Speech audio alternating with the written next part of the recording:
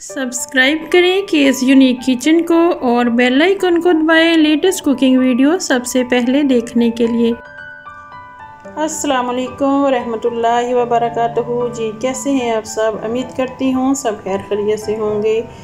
खुश रहीं, आबाद रहीं अपने अपने घरों में अपने अपने बच्चों के साथ। अल्लाह पाक आपको हर दुख, हर तकलीफ़ हर परेशानी से महफूज फरमाए।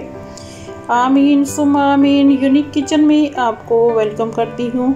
आज मैं आपके लिए बहुत ही ज़बरदस्त सी रेसिपी लेकर आई हूँ, मूंग और मसूर की दाल की, जिसको बनाना बहुत आसान है, लेकिन खाने में बहुत ही टेस्टी लगती है तो चले शुरू करते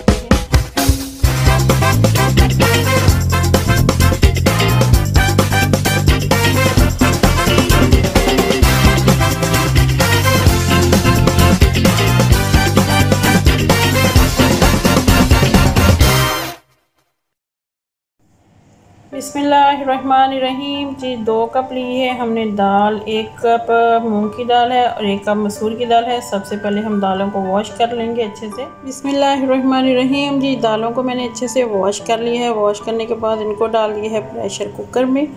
तो अब इसके साथ ही डाल देंगे साबुत लाल मिर्चें। ये पंद्रह मैंने साबुत लाल मिर्चें ली हैं। ये ऐड कर देते हैं। और इसके साथ ही डाल देंगे हम two tablespoon cooking oil इससे दाल जो है हमारी उबल के बाहर नहीं आएगी। बिसमीम और इसके साथ ही हम ऐड कर देते हैं पानी।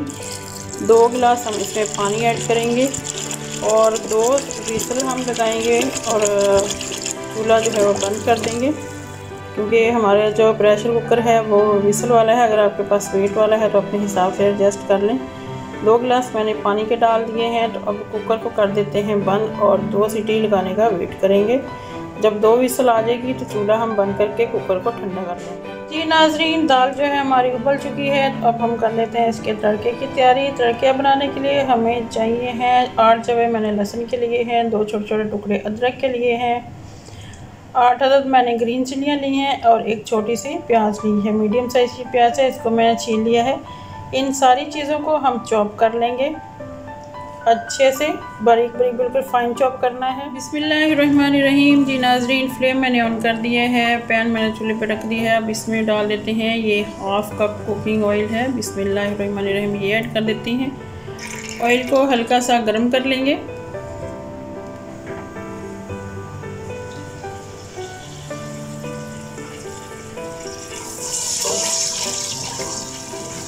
जब ऑयल हमारा हल्का सा गर्म हो जाएगा, अब हम इसमें ऐड कर देंगे ये हाफ़ टी स्पून मैंने ज़ीरा लिया है, यानी कि ओमिन सीड ये इसमें ऐड कर देते हैं, हल्का सा कड़कड़ा लेते हैं इसको।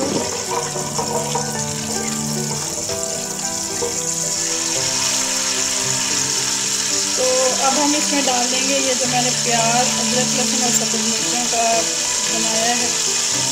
चॉप किया है इनको अच्छे से फाइनल कर दिया है इसको, ये ऐड कर देते हैं।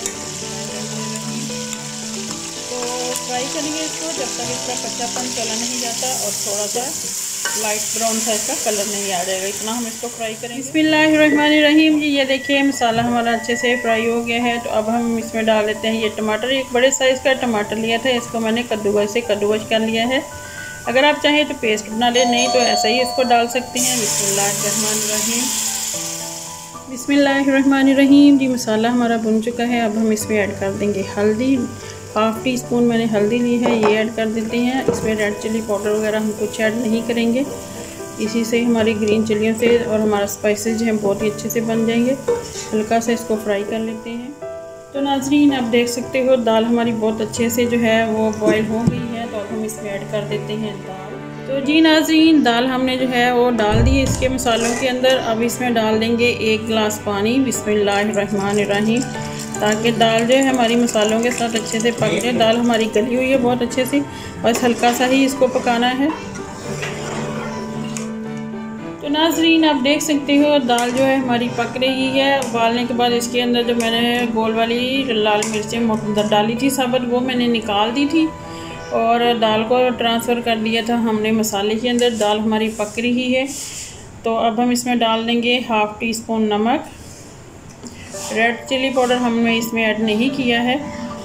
जो साबुत लाल मिर्चें डाली थी, कुछ उसका फ्लेवर इसके अंदर ऐड हो गया है। बाकी जो हमने ग्रीन चिलियाँ डाली हैं, उससे स्पाइसेस जो हैं, बहुत ही अच्छा सा बन जाएगा इसका। तो बहुत ही ज़बरदस्त सी हमारी जो है मूंग और मसूर की दाल जो है रेडी हो जाएगी इन बिसमीम तो जी नाजरीन, देख सकते हो, हमारी मूंग और मसूर की मज़ेदार सी दाल जो है बनके रेडी है।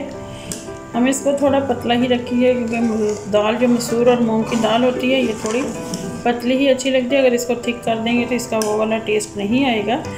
तो अब इसके टेस्ट को और रिच करने के लिए हम इसमें ऐड कर रहे हैं ये चिकन क्यूब इसमें रही दो चिकन क्यूब्स ऐड कर देंगे। इससे बच्चे जो है, बहुत शौक से खुश होकर दाल खाते हैं। उनको समझ में ही नहीं आता है कि ये दाल में चिकन डाली है कि नहीं डाली है। लेकिन टेस्ट जो है, इसका बहुत अच्छा आने लग जाता है। सिर्फ़ दो मिनट के लिए हम दाल को और पका लेते हैं। तो नाजरीन, अब बारी आती है इसमें फ़ाइनल लुक देने की। ये मैंने वन टीस्पून लिया है गरम मसाला। ये इसमें ऐड कर देते हैं। बिस्मिल्लाहिर्रहमानिर्रहीम। मिक्स कर लेंगे अच्छे से। हल्का से इसको और पका लेंगे दाल को, ताकि मसाले का जो टेस्ट है वो भी इसके अंदर अच्छे से आ जाए। इसे टेस्ट जो है मसाले का और भी अच्छा हो जाएगा। थोड़ी सी दाल को जब हम पका लेंगे वीडियो का पूरा वॉच किया करें, वीडियो का पूरा वॉच करेंगे तो ही आपको रेसिपी समझ में आएगी। अगर स्किप कर करके देखोगे या ऐसे ही छोड़ दोगे तो रेसिपी आपकी समझ में नहीं आएगी। बहुत ही मज़ेदार दाल बनती है, आप इस रेसिपी को ज़रूर ट्राई करके देखिए। इसको खा सकते हो आप रोटी के साथ, चपाती के साथ, पराठे के साथ या फिर बॉयल राइस के साथ। किसी भी तरीके से इंजॉय कर सकते हो। बच्चे भी बहुत खुश होकर खाते हैं, बहुत इंजॉय करते हैं। मेरे बच्चे तो बहुत इंजॉय करते हैं दाल को। ऐसे ही स्पून के साथ खा जाते हैं, इसलिए मुझे थोड़ी ज़्यादा ही बनानी पड़ती है। तो ये देखिए, माशाल्लाह दाल जो है हमारी रेडी है। तो यहाँ पे हम फ्लेम को ऑफ़ कर देंगे और सब्ज़ धनिया हम डाल देंगे इसमें। सब्ज़ धनिया मैं हमेशा जब सर्व करने लगती हूँ तभी डालती हूँ, क्योंकि पहले जो धनिया हमें वो अच्छा नहीं लगता है। अगर आपको कच्चा धनिया पसंद नहीं है तो आप यहाँ पे सब्ज़ धनिया डाल के एक मिनट के लिए इसको पका सकते हो। लेकिन हम जब डिश आउट करते हैं तो ही धनिया डालते हैं तो यहाँ पे फ्लेम कर देंगे हम बंद और दिखाएँगे आपको इसकी फ़ाइनल लुक बहुत ही मज़े की हमारी दाल जो है वो रेडी है। तो आप इसमें बटर ये डाल सकते हैं या फिर देसी घी, तैरता तैरता दाल के ऊपर बहुत ही मज़ा करता है। तो डाल के आप इंजॉय कर सकते हो बटर के साथ या देसी घी के साथ। लाजमी डाल के देखिएगा। अगर नहीं पसंद तो फिर ना भी डालिए प्रॉब्लम नहीं है।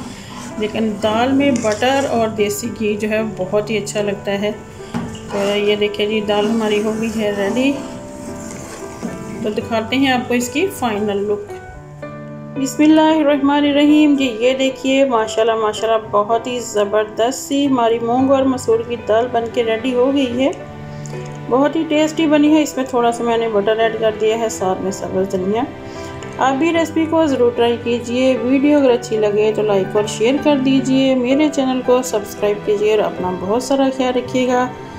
मिलते हैं किसी नेक्स्ट वीडियो में। तब तक के लिए अल्लाह